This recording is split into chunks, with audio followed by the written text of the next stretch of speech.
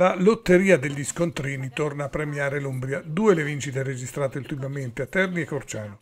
A Terni una sessantenne ha vinto il premio settimanale da 25.000 euro a fronte di una spesa di generi alimentari di circa 70 euro in un esercizio cittadino. Uguale vincita per un quarantenne di Corciano grazie a una spesa alimentare di appena 12 euro.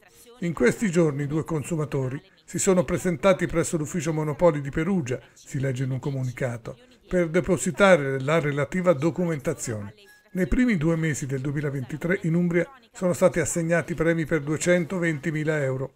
175.000 sono stati vinti da 7 consumatori, 150.000 nella provincia di Perugia, 25.000 in quella di Terni. 45.000 da 6 esercenti, nello stesso periodo del 2022 furono riconosciute vincite per 126.000 euro, 95.000 euro a consumatori, mentre 31.000 a esercenti.